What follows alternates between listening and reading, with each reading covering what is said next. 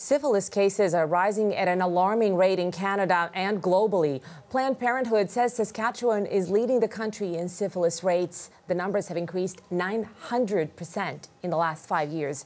For more on this and other topics, let's bring in Dr. Isaac Bogoch. He is an infectious diseases specialist with Toronto General Hospital. Dr. Bogoch, thank you for joining us. Uh, tell us how is syphilis spreading and what are the symptoms to watch out for? Yeah, syphilis is primarily a sexually transmitted infection. Uh, so it is spreading through sexual contacts. And of course, it can still be transmitted from uh, mother to child in utero, but the main mode of transmission really is sexual.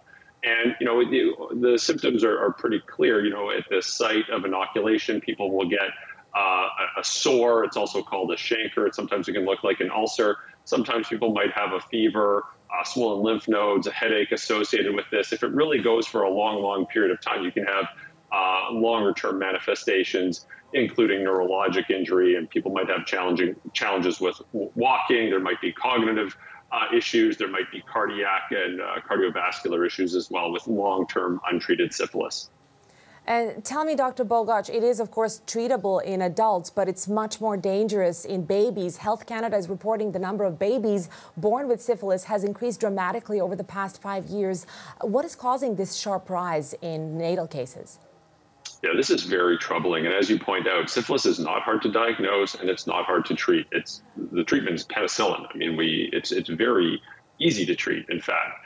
Uh, so this is very troubling to hear a rise in neonatal cases of syphilis because it can cause significant harm to a developing fetus. And of course, it can cause permanent damage. So certainly it can cause fetal demise.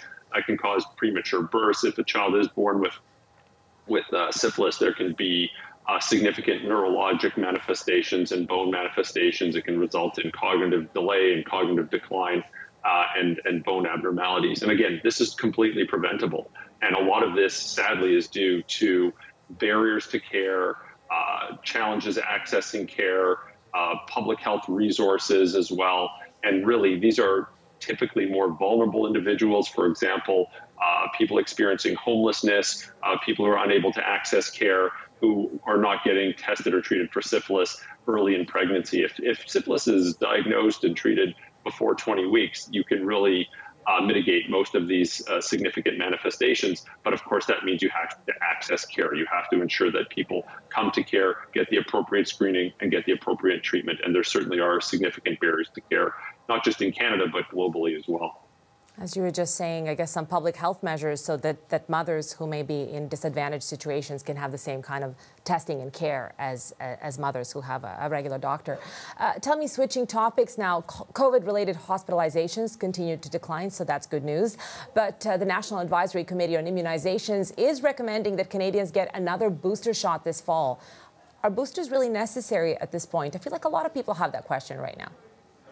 Yeah, it's a great point. So, I mean, it's great to see that most of the trends right now are headed in the right direction. If you look across the country and you look at, for example, wastewater surveillance, it's relatively low uh, in much of the country. Hospitalizations continue to decline in much of the country. But that, of course, doesn't mean COVID is gone. It's still here. There's just less of it now than there was, for example, uh, you know, many months ago. So that, that's obviously good news. But uh, again, it's still here. It's still around. And we know we're going to see more of it in the fall and winter season. So, we also know who's more vulnerable to COVID. We know certain groups, for example, people on the older end of the spectrum, people with underlying medical conditions, various groups of people who live in, for example, nursing homes or long-term care facilities. Like these are groups that are much more at, uh, at a greater risk for having more severe manifestations of the virus. And you know, based on some recent uh, NACI communications, it looks like we're going to get some new booster vaccines available probably sometime in the fall.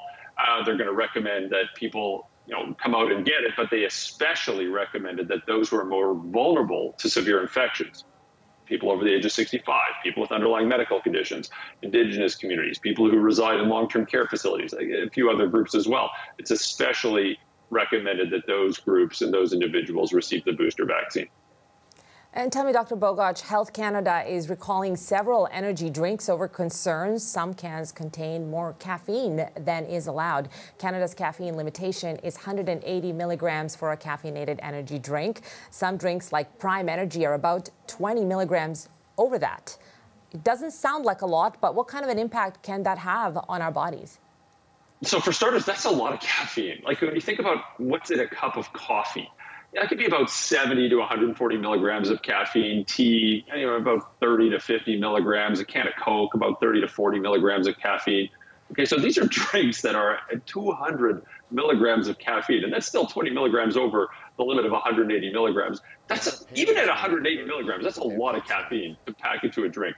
Anyways, you can get headaches, palpitations, insomnia. You can exacerbate anxiety. You can get a, a high heart rate. Like there are certainly symptomatic manifestations of, of this. So I think that's a pretty reasonable thing to do. We got to watch our caffeine intake for somebody, a coffee lover like myself, this, those are some very, very sobering numbers.